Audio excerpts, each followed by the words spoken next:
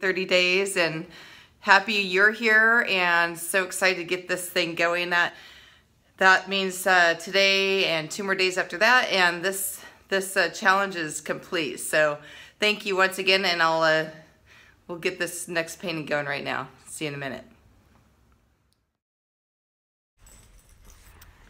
Okay everyone so what you're actually seeing is I thought I had turned the camera on or excuse me off and in actuality I turned it back on. So after I'm done with my paintings and I record it just due to time I go back in and just do a few little things at the end. And so what you're witnessing is that part of it.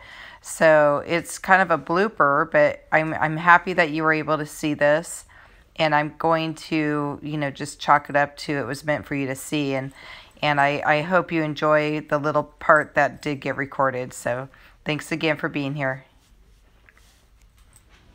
Okay, just finished number 28. I'm super excited and it looks great. Um, I felt good doing it.